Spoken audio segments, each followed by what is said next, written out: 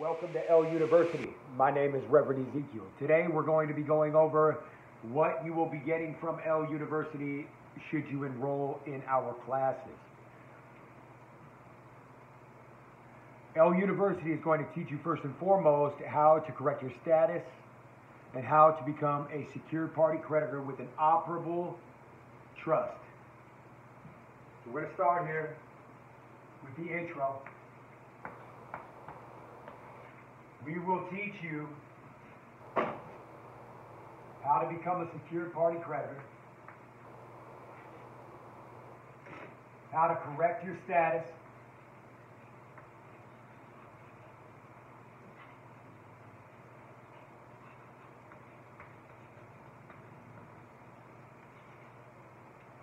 and how to form and operate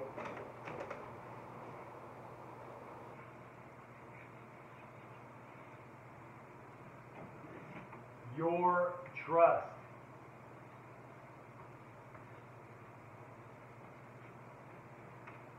Three simple points, that's to begin with. We're also going to cover many other areas. For example, we're going to cover bonds. The bonds that we cover are going to have to do with all bonds, but primarily with penal bonds.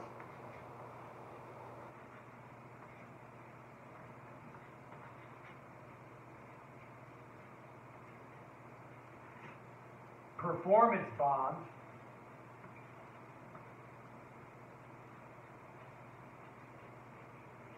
Bid bonds. And affidavits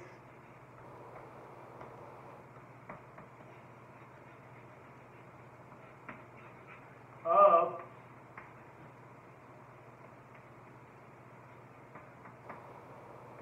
individual surety. Now, your word is your bond. You've heard that term. You've heard the term that HJR 192 is a supersedeas bond.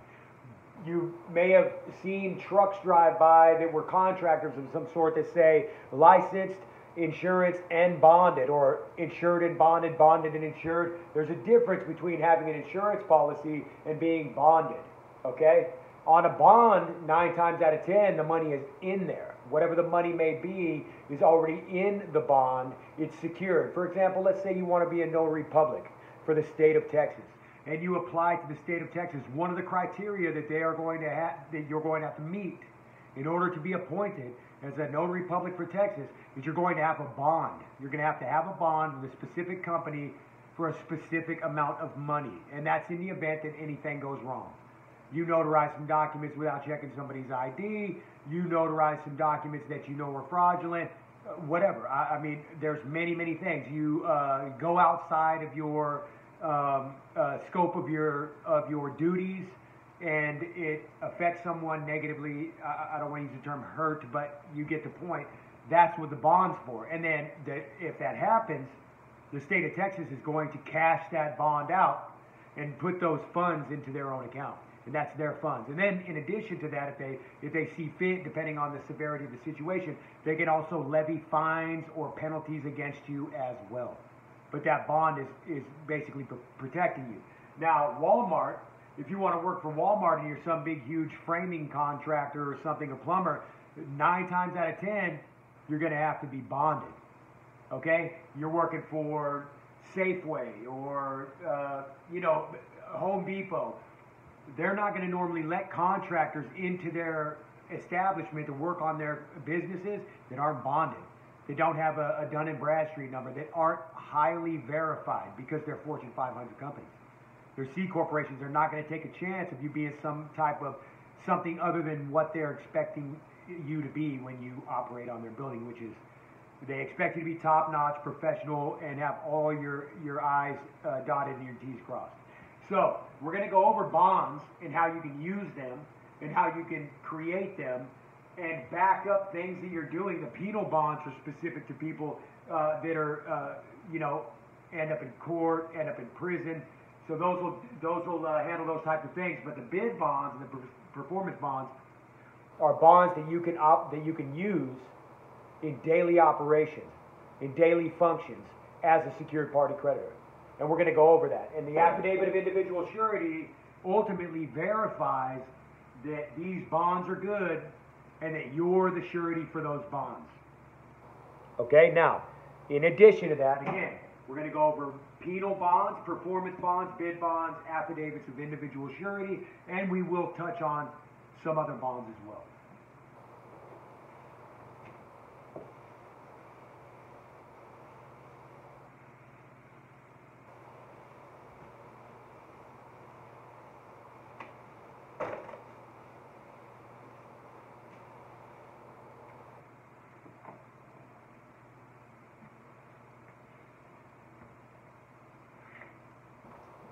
In addition to that, we're going to go over specific topics of importance. We're going to go over in depth HJR 192 and why it matters so much. We're going to go over the Federal Reserve Act and how it affects us today and how it affected HJR 192 and the Uniform Commercial Code.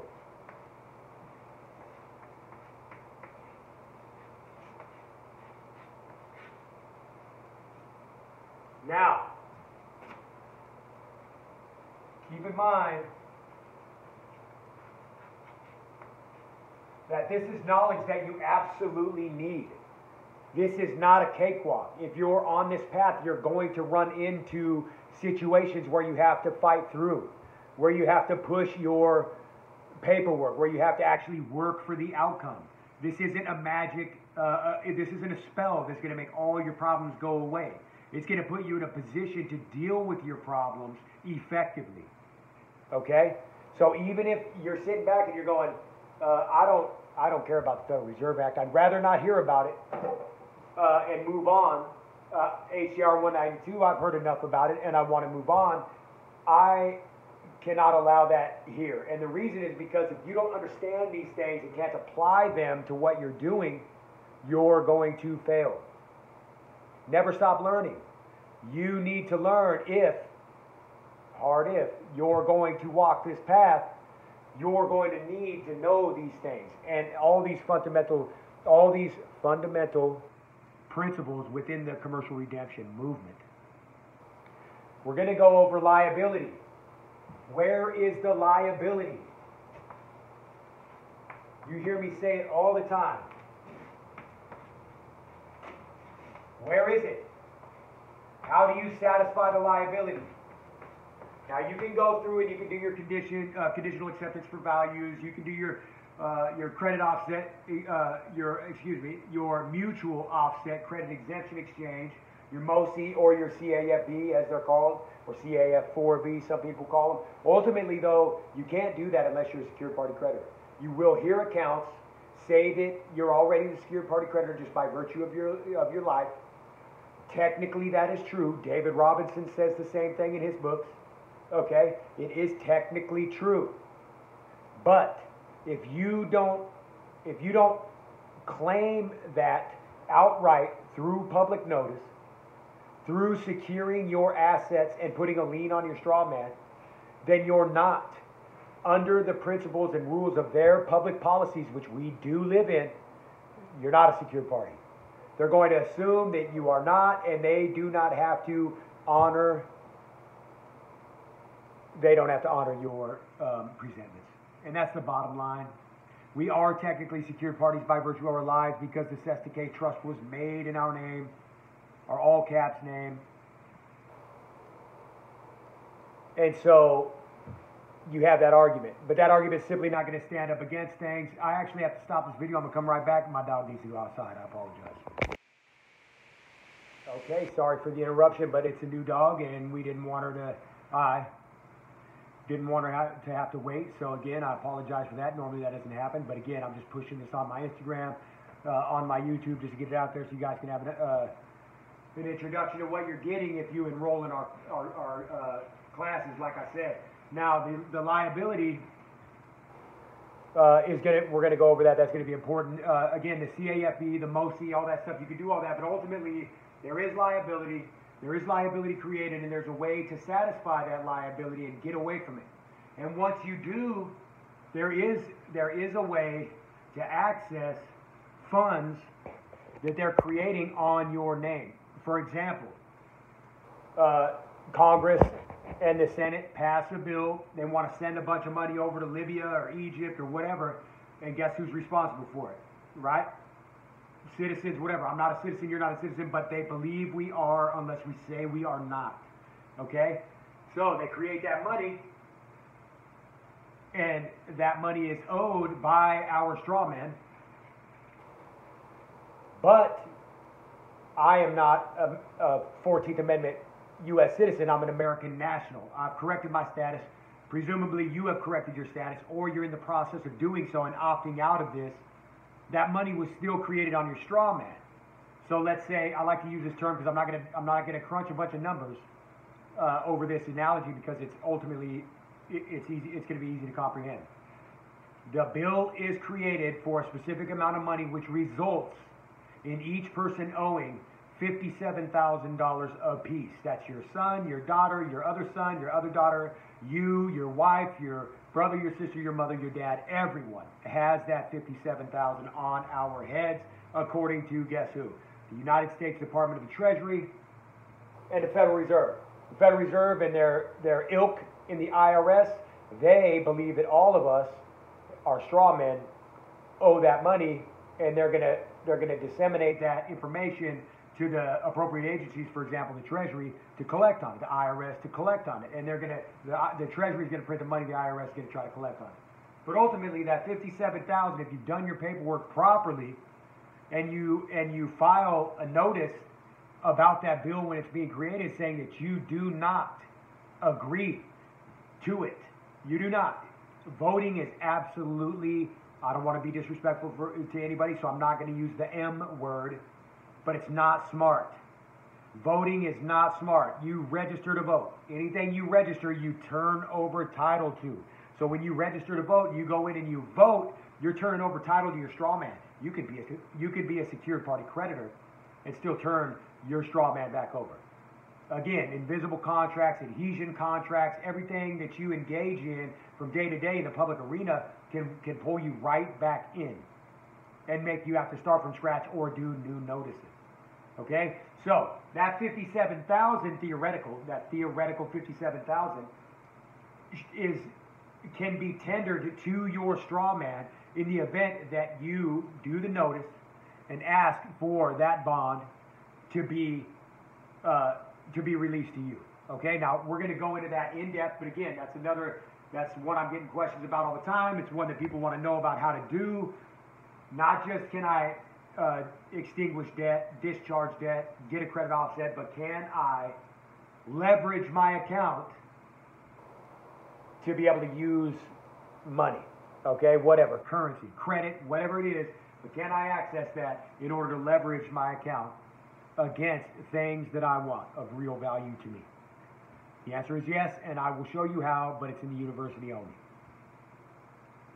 We're going to go over what the difference is between a private citizen and a, and a public citizen is. Okay, and we're going to go over we're going to go over what it means to call yourself a citizen. All right, private citizen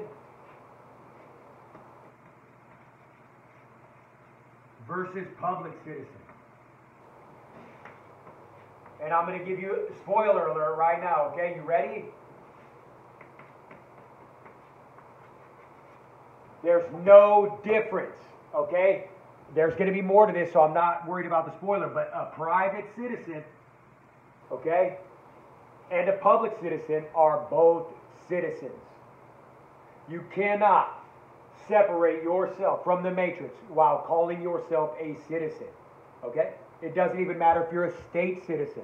You say, I'm a state citizen under the Constitution. First of all, the Constitution does not apply to you. Remember that, okay? So, uh, public citizen, private citizen, state citizen, citizen, citizen, citizen. If you're a citizen, you are a subject to the country that you live in. You're a subject. A subject is a slave. Okay? It's someone that's in bondage that, that has to answer to someone else. If you are a citizen, you are in the matrix, under their jurisdiction, in their law venue. Okay? So you don't want to use that word. And if you hear somebody saying it that's teaching you something, run. Because that individual has no idea what he's talking about. Okay? You have to use other terms, other available terms such as national. Okay? When you apply for a passport or you apply for FAFSA, there is a difference expressed between an American national and a U.S. citizen. They're on there for a reason. You're a national, not a citizen, okay? If you're a citizen, you're a subject. Nationals are not subject to the countries they are that they live in, but they are still afforded all of the benefits and privileges and rights secured by being from that nation. So you get all the benefits, none of the restrictions. Okay, it's kind of like a 508c1a religious ministry versus a 501c3 uh, nonprofit corporation. Okay? Dig the difference, and you will understand this stuff in a manner that will keep you from getting yourself in trouble. Okay? We're dealing with a government that will lie to get FISA warrants against people, knowing they're lying and not be touched.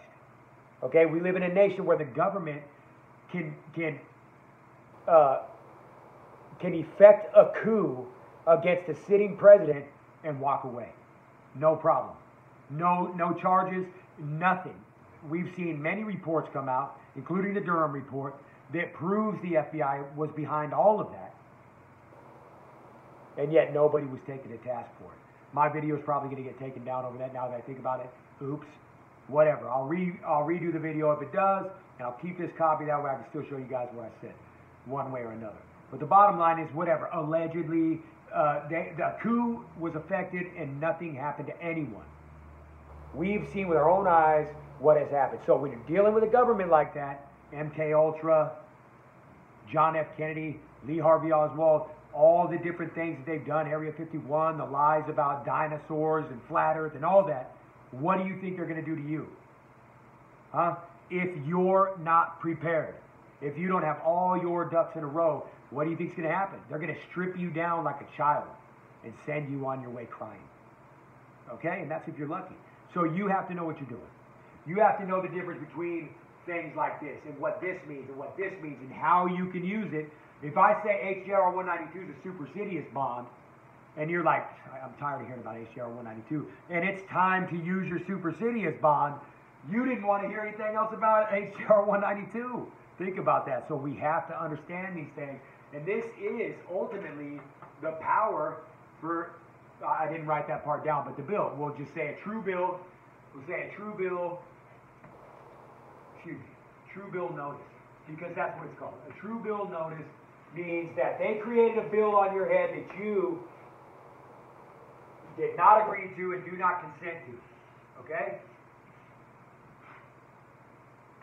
True bill notice. Boom. You have to understand this to understand this. And you have to understand this to understand it. Okay? Now, let me tell you also that there are many manuals on the internet right now that you can get. Uh, various different sources that talk that are manuals from the government against people who claim to be sovereign, people who claim to be secure party creditors, and they try to refute it. I told you in another video about the bar, how there's there's organizations that disseminate false information in order to convince people that things aren't true like the British Accredited Registry. And they come up with that, that nonsense about the rail that only separates the audience from the court, from the judge and from the attorneys and from the defendants and from the plaintiffs. They claim that that, that means that they've, they've been brought into the bar and they're in the interfold. Again, no, that's not what it is. They're esquires.